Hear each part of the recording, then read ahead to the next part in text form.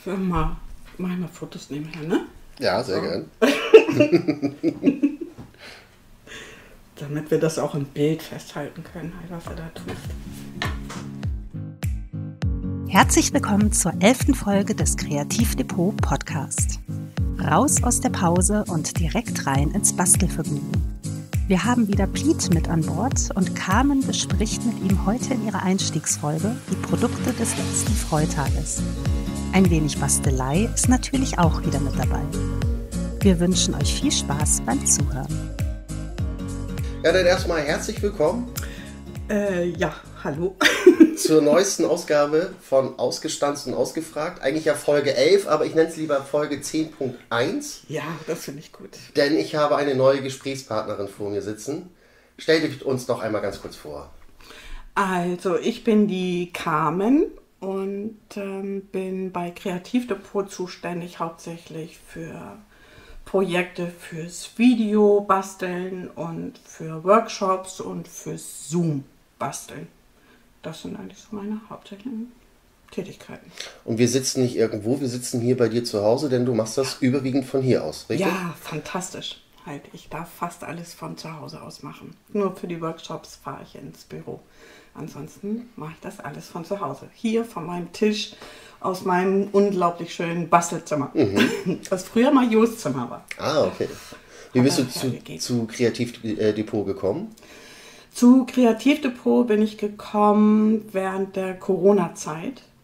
Ähm, Ich durfte als Kosmetikerin nicht arbeiten und ähm, mit vier Kindern wurde das hier halt ein bisschen eng, was das Geld betraf.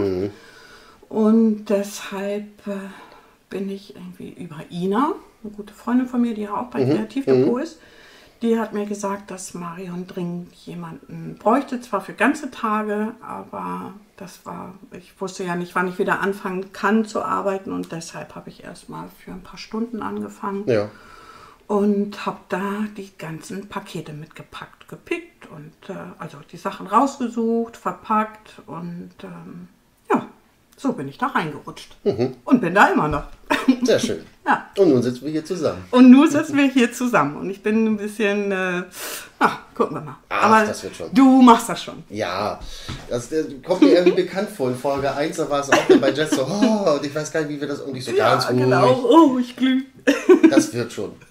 Was werden wir heute mal machen? Was hast du da so vor dir liegen? Heute werden wir äh, über die Produkte sprechen, die am Freitag ins äh, Freitagsfreu-Video kommen. Und dann würde ich gerne mit dir was damit machen. Okay. Was haben wir denn da so Schönes? Wir haben zwei Prägefolder ähm, mit kleinen Schiffchen. Okay. Eins nur mit Schiffen, eins mit Schiffen und äh, Ankern. Ja.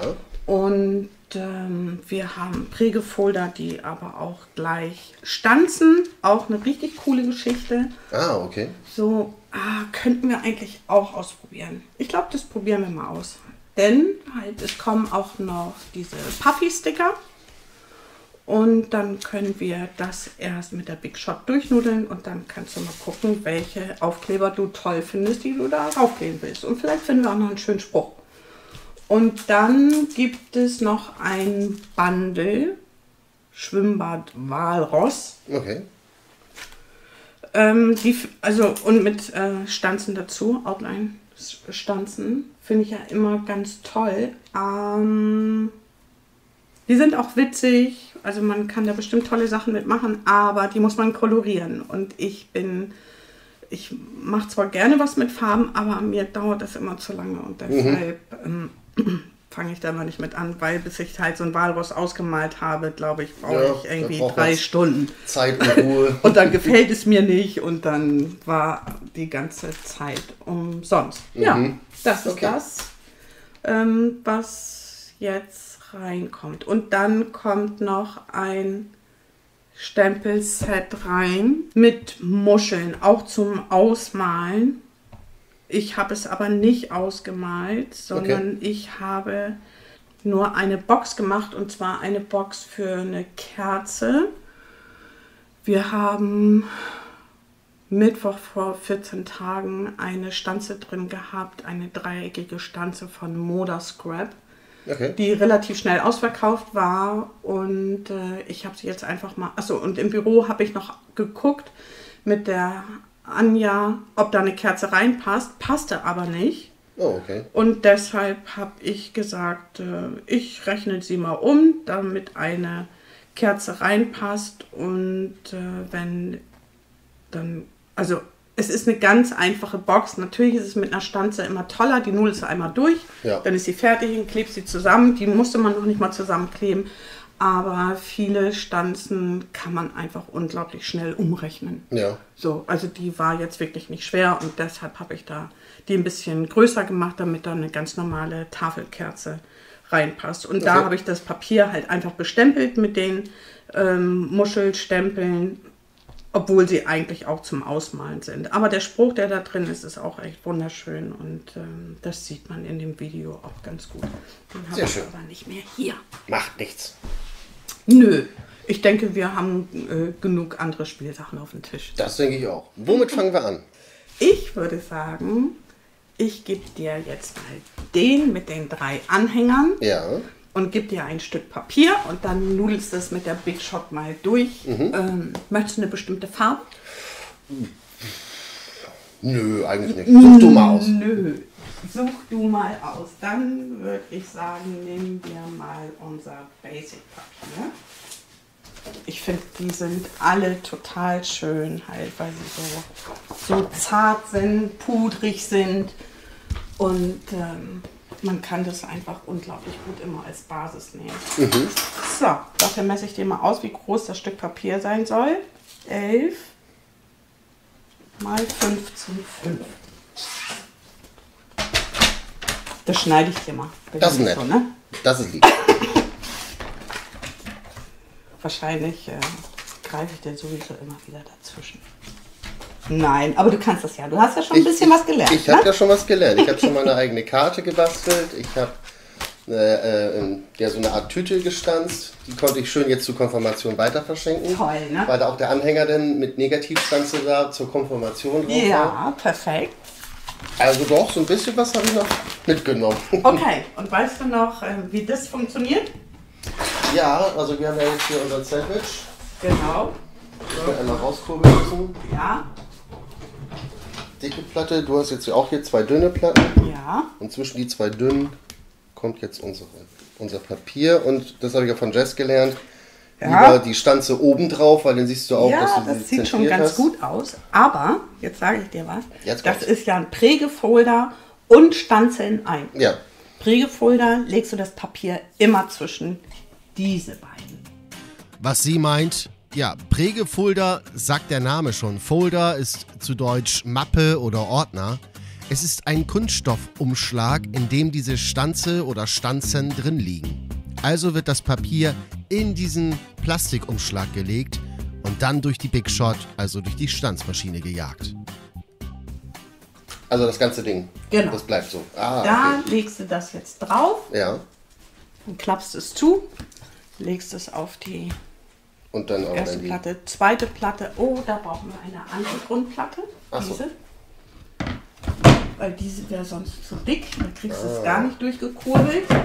Muss Das sind, genau, die ist halt nur, wenn wir ganz normale Stanzen benutzen. So. So, das hört sich gut an. Wer so sagt, hat Reserven, ne? Wer so sagt, weiß nicht weiter. Ich mal einen Spruch drauf. Aber das sieht doch schon gut aus. Das sieht schon ziemlich gut aus, ja. So, also jetzt haben wir hier drei Anhänger. Drei Oh ja, das Anhänger. sieht, das sieht echt schick aus. Einmal mit einem Herzchen in der Herzchengitter, dann mit einem Stern, einmal Ja, mit einem Häuschen, wenn ich das richtig deute. Ja. super. Ach, das sieht doch schon mal toll aus, oder? Das sieht toll aus. So, Das dann hast du drei Anhänger direkt fertig. Dann könntest du rein theoretisch hier selber was reinschreiben. Ja, Oder ich suche jetzt mal ein Stempelset. Mhm. Und zwar heißt das Gräser. Und da sind die Sprüche so schön klein, oh ja. dass ich denke, wenn du dir einen, der von der Breite her passt, aussuchst, dann kannst du den da reinstempeln. Und ich suche dir noch ein Stempelkissen aus. Hier hast du noch einen Acrylblock Ja, genau, den brauche ich. Mhm. und hier hast du ein Stempelkissen.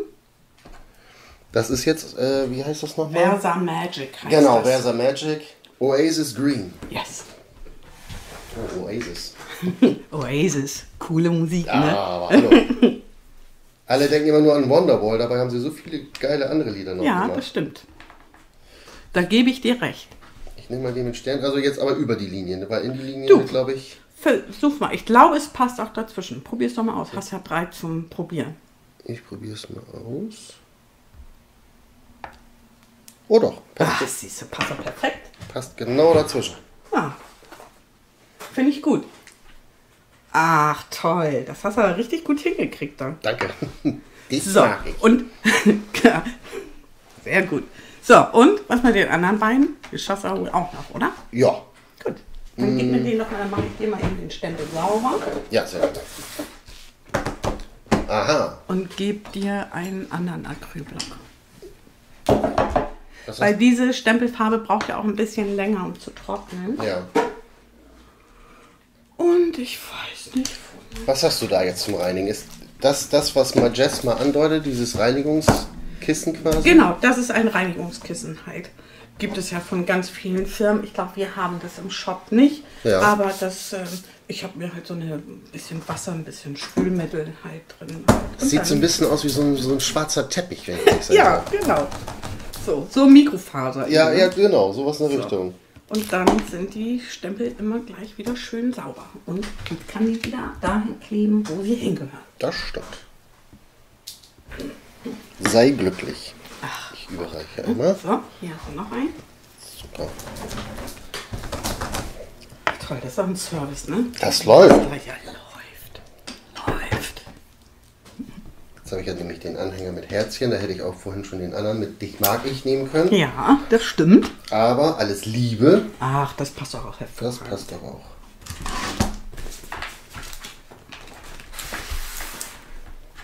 Ich finde es ist eh ein schönes Stempelset hier mit den Gräsern. Kann man auch, könnte man rein theoretisch, könntest du jetzt auch hier oben drauf irgendwie ein Pflänzchen machen. Stimmt, ja. Ich finde, einen davon könnten wir so machen. Mit dem anderen, da kleben wir Puffy-Sticker drauf. Jetzt gebe ich dir nochmal eine andere Farbe. Kriegst du mal den für die Pflanze. Ja, das ist jetzt Hind of Pesto. Gott, oh Gott, Gott. Namen. Ja. Wer sich das wohl ausdenkt. Da sitzen die lange vor und denken so, oh, wie nennen wir das Ding denn? Grüne, nee, grün ist doof. Wir haben fünf verschiedene Grüntöne. Hellgrün, heller Grün, noch heller Grün. Nee, nee, es ist doof. Wir nennen es, ich hab's, Hind of Pesto. Ja, schreib auf, schreib auf. So in der Art. Ja, genau. Aber basteln war schon immer so deine Leidenschaft Oh, oder ja, kam das auch erst immer. jetzt so in den letzten Jahren? Nee, nee, nee, nee, nee. Ich mache das schon ganz, ganz lange. Okay. Also ich würde mal sagen, eigentlich ist Papier schon immer meins gewesen. Angefangen mit Tapezieren und Laternen für die Kinder basteln und so.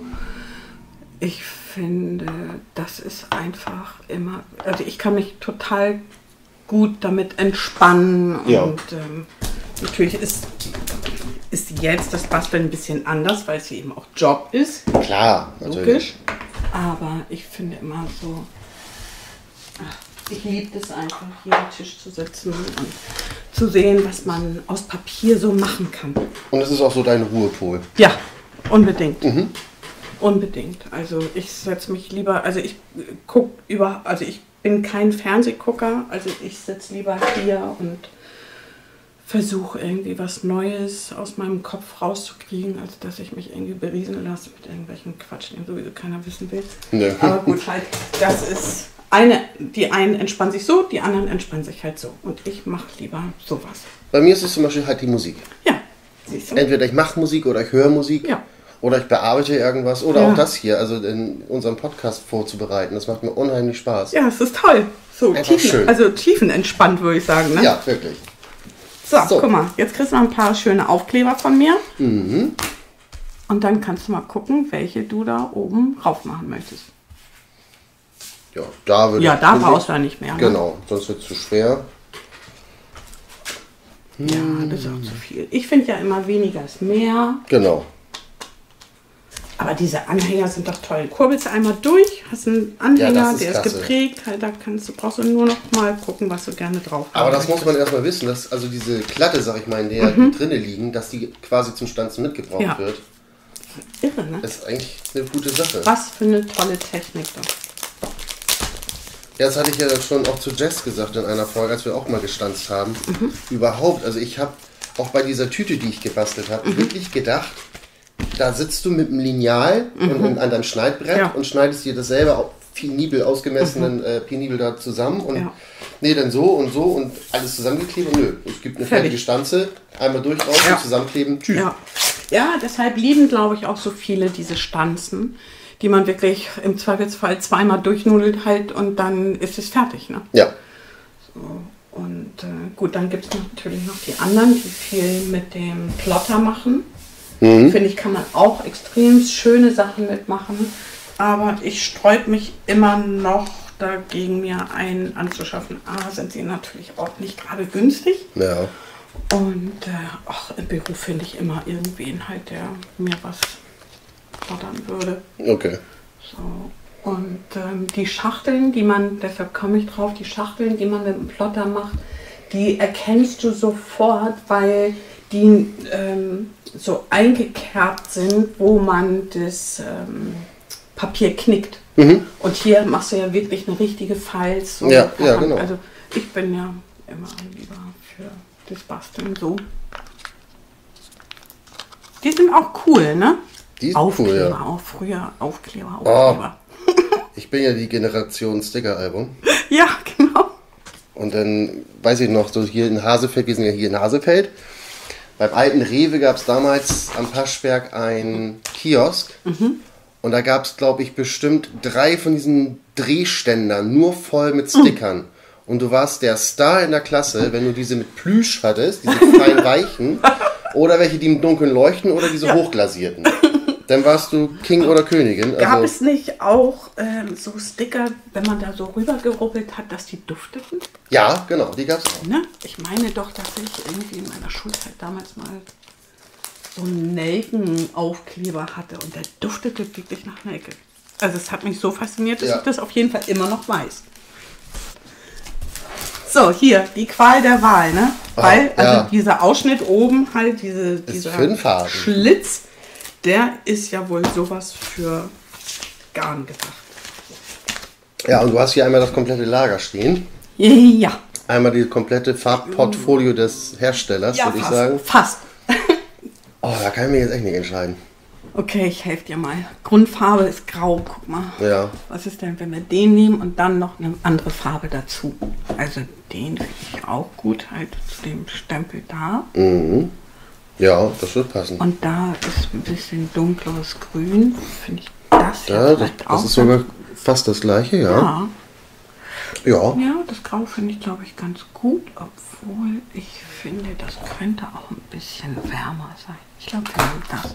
Guck mal, wenn du immer, ähm, also ich macht natürlich auch jeder anders, aber ich nehme ja gerne immer zwei mindestens, Mhm. sogar drei, Okay. Damit man oben halt so ein bisschen ähm, Bisschen mehr hat. Farbe, ne? Ja, genau. So, also. Da- denn, wenn wir die drei nehmen? Ja. Und dann kannst du bei den Rest, obwohl hier muss ja eigentlich was Rotes oder Rot oder Orangenes, orange, ne? genau. Wegen so, dem Eis, was wir hier draufgeklebt Genau. haben, genau. So, finde ich ganz gut. Oh, da finde ich das sogar besser. Ja, ne? So ein bisschen kräftiger. Genau. So, und noch? Hm, Weil das ja auch drin vorkommt, würde ich sagen, hier zum Beispiel so ein Rot hier. Ja. Gut. Okay. Gut. Den Grauton kannst du da noch wieder zu nehmen. Ja. Ich finde es ja immer gut, wenn man ein bisschen längeres Band nimmt. Ja, wie ungefähr? Ja. Ja, da, ja. So. Und dann kannst du mir das mal einmal geben. Mhm. Und dann schieb das mal von hinten durch. Ah, okay. So. Ja. Na, komm her. Halt mal fest, bitte. Achso, ja. Nicht loslassen. Nicht loslassen. So. So. Und äh, damit der Knoten nicht aufgeht, wenn man das da so verzwirbelt, Ja. mache ich immer von Ah. hinten so einen kleinen Klecks Klebe drauf. Ja. Matsch das da so ein bisschen fest. Ja, perfekt. Und dann geht der Knoten nicht wieder auf. Ja, man muss aber auch keinen großen Knoten, mal, machen. Nicht, dass man da jetzt versucht, seine Seemannsknotenkünste Ne, auszutoben. das braucht man nicht. So, Ja, und schön. dann hast du schwuppen an den Hänger fertig. Der ist doch cool. Der ist wirklich cool. Sehr schön. Ich finde das so witzig. du machst das großartig. Machst das wirklich richtig gut. So, jetzt Stand, hast du ja noch stand zwei. in meinen Zeugnissen der Erstklasse auch. Das ist ganz toll, was Peter da macht. Mal hat Peter aber kein Material mit, dann ist das Material da, aber Peter fehlt. Achso, Schere. Einmal die Schere. Würdest du sagen, dass ich jetzt hier auch nochmal als Basis das Grau mit reinnehme? Ja, Eisfall, ne? mach mal. Ich glaube, das ist eine ganz gute Idee. Du hattest das jetzt eben so gemacht, du hast alle. Ich habe alle, ich nehme dann alle drei auf Mal, damit ich von allen die gleiche Länge habe. Ja. Guck mal, orange ist ja.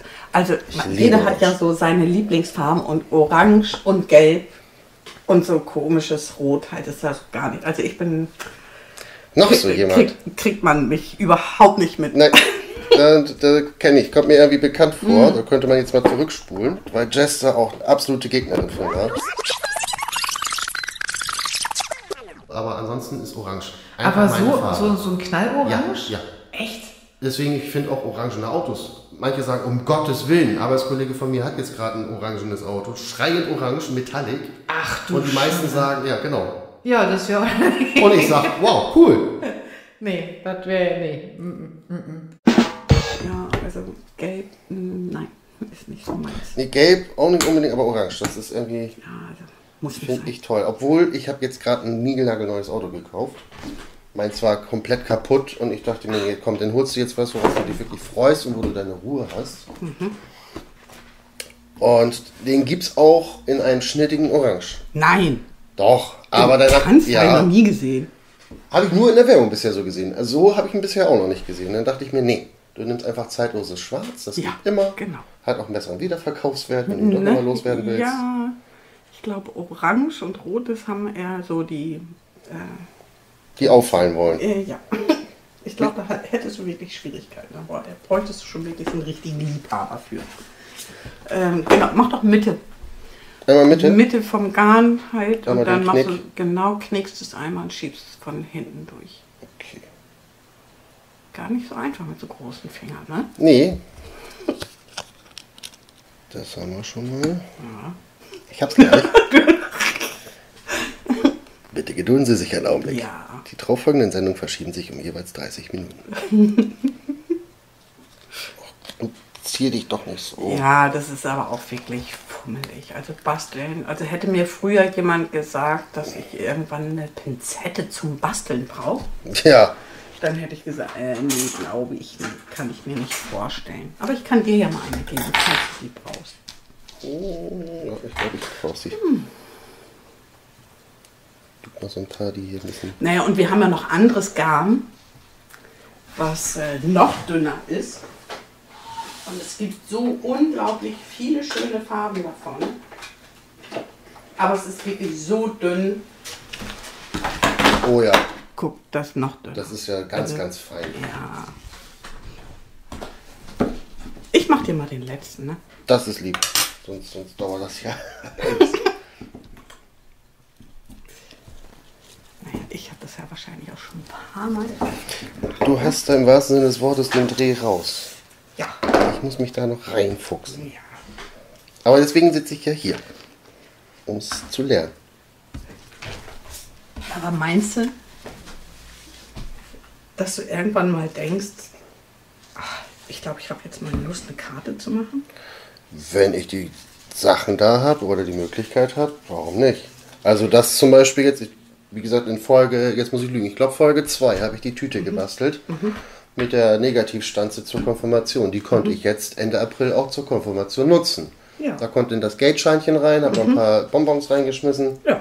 und hatte was fast ganz Persönliches. Ja, genau.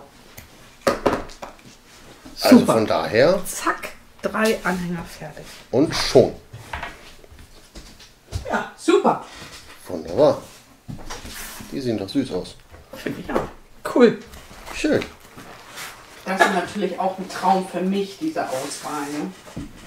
Ja, klar. Dass, äh, wenn ich mir irgendwas ausdenke, dass ich weiß, kein Problem, ich habe diese Farbe, Ja. ich habe diesen Stempel, ich habe also, das ist schon eine ziemlich tolle Sache. Wie ich immer wieder erwähnen kann, haben ist besser als brauchen. Du vollkommen recht. Ja, Piet, ich glaube, dann haben wir das erste durch. Oder möchtest du noch mehr machen? Was kann man mit denen genau machen, was du da jetzt in der Hand hältst?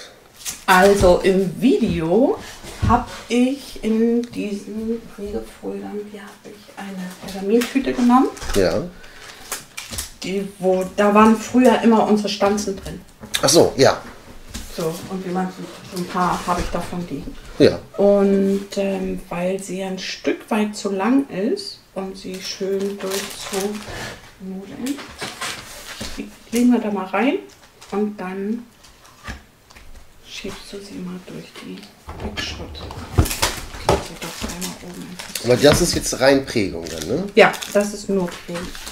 Dann machen wir nämlich noch diese Tüte und dann kannst du da die Anhänger reinpacken. Ja, perfekt.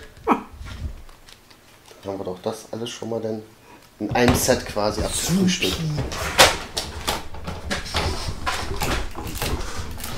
Ich finde diese Pergamintüten total schön. Ich möchte da auch irgendwie gerne mal ein Album mitmachen oder das auf jeden Fall mit in ein Album reinbringen. Mal gucken. Okay, ja. Erinnert so ein bisschen so, so Butterbrotpapier, Ja. so von früher. So, wenn du das jetzt da rausholst, wirst du sehen, halt, wie wunderschön das ist. Oh ja. So cool. Wow. Toll, ne? Also wie gesagt, wir haben ja hier so kleine Papiersegelschiffchen. Und die sind richtig durch dieses dünne Papier eingedrückt. Also es kommt Ja. richtig stark hervor. Wahnsinn. Ja, es ist so toll, ne? Das ist echt toll. Das könnte man jetzt auch mit weißem Papier einfach auf eine Karte legen, mit Ja. einem Abstandshalter Ja. oder sonst irgendwie. Ja, und auch. So. Und Klasse. ich finde das auch tatsächlich von beiden Seiten schön. ja, stimmt. Also hier ist es so einmal als und negativ hier und, ist es einmal dann ne? hervorstehend. Ja. Toll. Ja, cool. Dann packst du die da rein und dann fertig. Fertig. Guck mal. Haben wir doch schon richtig was hier auf die Beine gestellt heute. Finde ich auch. Und ich habe wieder was getan. Du kannst den Schatz äh, gut verstecken. Mein Schatz. Was schwebt dir denn oder euch vor allem denn nächste Woche vor? Wo können wir denn, worüber können wir denn nächste Woche mal sprechen? Weißt du das schon? Hast du da schon eine Vorahnung, was es, äh, worum es gehen könnte? Nächste Woche ist Baby angesagt. Baby. Also so zur Geburt und so. zur Geburt, äh, Kinder, Glückwunsch, Mädchen wie Jungs, Mhm. tolle Stempelsets mit äh, äh, passenden Stanzen wieder als Bundle. Ja. coole Geschichte. Wird interessant. Ja, Wie hat sie denn mit der ersten Folge mit mir gefallen? okay, cool. Ja, ruckzuck, ne? Hast du toll mitgebastelt, alles schick. Und ist die Nervosität ein bisschen abgefallen? Äh, ein bisschen, Ein bisschen. ein bisschen. ja, also beim ersten Mal ist ja äh, Neuland, ne? Klar. So. So saß ich auch mit Schweißperlen vor den Sachen, als Jess dann als auspackte. So, heute basteln wir nicht so. Oh Gott, Oh komme ich hier überhaupt noch lebend raus? Ja, genau. Ja, also fürs erste Mal finde ich, haben wir das ziemlich gut hingekriegt. Ja. Du hast toll gebastelt und ähm, ich hoffe, wir konnten ein bisschen was rüberbringen, was wir Oh. hier auch gemacht haben. das denke ich, doch. So. Und dann gucken wir, wir werden von Folge zu Folge besser. Ist so, genau. Ne? Gut, Okay, gut. dann würde ich sagen, Ja, bis zum nächsten Mal. bis zum nächsten Mal. Ciao. Tschüss. Wir sind nun zwar am Ende dieser Podcast-Folge angekommen, aber schon nächste Woche geht es weiter. Abonniert gern unseren Kanal, um keine Folge mehr zu verpassen. Habt ihr Themenwünsche, die wir zukünftig im Podcast besprechen könnten? Dann schreibt uns gern eine Mail an huhu.kreativdepot.de. Vielen Dank fürs Zuhören und bis zum nächsten Mal, wenn es heißt Ausgestanzt und ausgefragt.